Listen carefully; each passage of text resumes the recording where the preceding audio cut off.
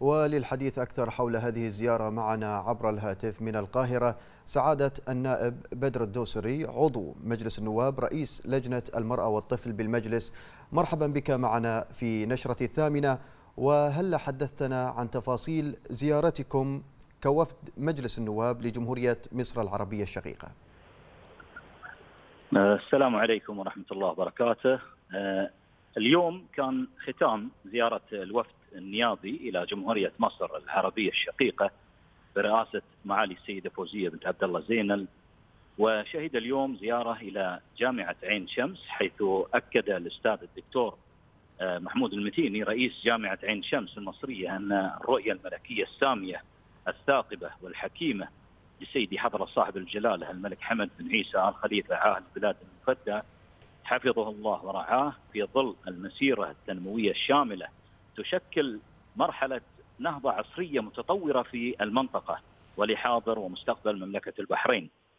وهنأ الأستاذ الدكتور محمود المتيني كذلك مملكة البحرين على إطلاق أول قمر صناعي ضوء واحد ومؤكدا دعم الجامعة لتعزيز التعاون في علوم الفضاء والبحث العلمي مع جامعات مملكة البحرين والتعليم العالي.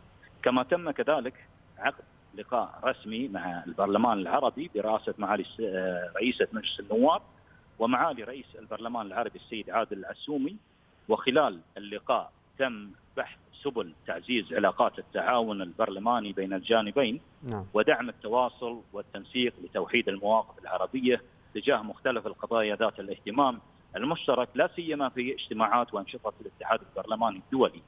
وأخيرا لا يخفى عليكم فقد أشاد الجانبين بجهود مملكة البحرين بقيادة سيدي حضرة صاحب الجلالة الملك حمد بن عيسى آل خليفة حفظه الله ورعاه نعم. في دعم وتطوير منظومة العمل العربي المشترك على كافة المستويات ومختلف المجالات وبما يعود بالخير والنفع على دول وشعوب المنطقة وكذلك جهود سيدي ولي العهد رئيس مجلس الوزراء حفظه الله مع فريق البحرين في تحقيق وتنفيذ رؤى وتطلعات التوجيهات الملكية السامية في ظل المسيرة التنموية الشاملة، كما تم استعراض المشاريع والبرامج المشتركة للمرحلة المقبلة على المستوى البرلماني والأمانة العامة ودعم العمل البرلماني العربي وتأتي هذه الزيارة ضمن سبل تفعيل الدبلوماسية البرلمانية وتبادل الخبرات في ظل المسيرة التنموية المباركة لخدمة مملكة البحرين إن شاء الله.